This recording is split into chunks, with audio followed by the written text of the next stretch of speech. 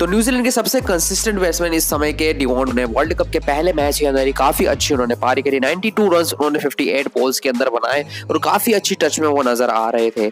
तो Devon Conway का साथ दिया, यहाँ पर फिन एलन ने। फिन एलन ने यहाँ पर 16 गेंदों में बयालीस रन की ताबड़तोड़ बारी के लिए इसके चलते एक बेहतरीन शुरुआत यहाँ पर मिली न्यूजीलैंड की टीम को, जिसके चलते वो 200 के स्कोर तक पहुँच पाया और जो कि बहुत ही ज़्यादा फ़ायदेमंद उनके साबित हुआ, क्योंकि इसके चलते उन्होंने मैच को भी यहाँ पर जीत लिया, अपने पहले वर्ल्ड कप के मैच को। तो काफ़ी अच्छी ये जो ओपनिंग जोड़ी नज़र आ रही है न्यूजीलैंड के लिए, और काफ़ी अच्छी जो शुरुआत यहाँ पर मिली है न्यूजीलैंड की टीम को, क्योंकि पहले ही मैच के अंदर अच्छी ओपनिंग पार्टनरशिप अच्छी बॉलिंग और एक अच्छी जीत न्यूजीलैंड के लिए।